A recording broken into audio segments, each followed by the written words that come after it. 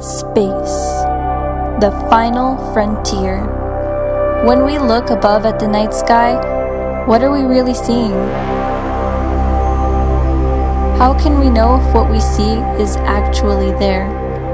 If we could somehow defy time and look at the object as it is at this very moment, its true form may surprise us. Oh look, something's crawling next to it. journey following Charles Messier's steps and capturing all 110 of Messier's.